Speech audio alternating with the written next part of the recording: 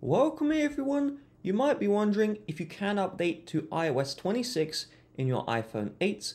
Unfortunately, this is not possible. So let's investigate. I'm going to go into settings and I'll check out the software update option. And so what's really interesting is you can see under beta updates, I do have the iOS 26 developer beta option. And after selecting this option, you can see I can tap it.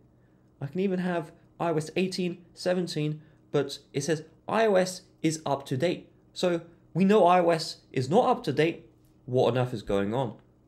Well, first of all, you can see on my iPhone 16 Pro, this is the brand new iOS 26. You can see the brand new glass interface. And so the reason why I was able to get iOS 26 in the iPhone 16 Pro is because this iPhone is officially supported by Apple to receive the software update. With iOS 17, Apple dropped support for the iPhone 8, which means that the iOS 16 is the latest software you can get.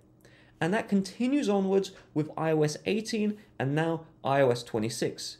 And so what that means for you, if you're watching this video, if you want to get the iOS 26, well, you're not going to be able to get it on your iPhone 8. So that means that you're going to have to you know, upgrade your iPhone or stay on iOS 16 until the app support goes away. Now, I would earn a lot of money if there was a way to download iOS 26 in iPhone 8. And as someone who is very involved in the hacking and jailbreaking community, I can confidently say that there is no way to install iOS 26 in iPhone 8. And so this is why I'm just making this video. Don't watch any videos that claim that you can install it because you will waste your time. Those are scam tutorials. So I'm just letting you know and I hope this video helps you out.